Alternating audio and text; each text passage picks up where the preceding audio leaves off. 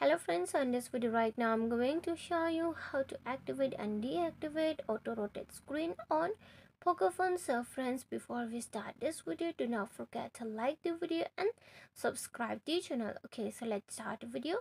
Here firstly you can see the setting option so friends here you have to move on this setting. After you have been moved on the setting here you have to scroll on the down and the option for it uh, for the uh, for this option is you have to click on display okay?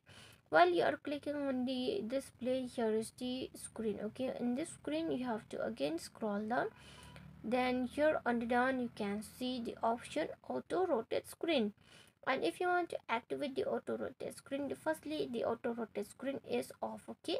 So if you want to activate this auto rotate screen just click on this icon and your dear auto rotate screen will be activated okay so let's check whether the auto rotate screen is activated or no. Suppose i'm watching some videos okay? Like um, maybe i'm on the setting and it used to move or not but it doesn't move. Maybe while you will watch some videos then it will move okay?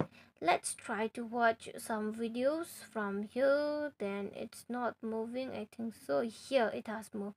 So if your screen is like this and if you want to set it do screen like this you can set the screen like this if you want to make the normal you can make the normal. See the screen is rotating like this okay?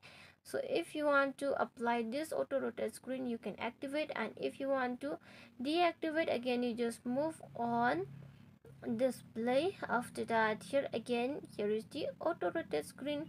It means the automatic rotating the screen okay if you want to activate you just click on this icon. If you want to off again you just click on this icon. The auto rotate screen will be off okay?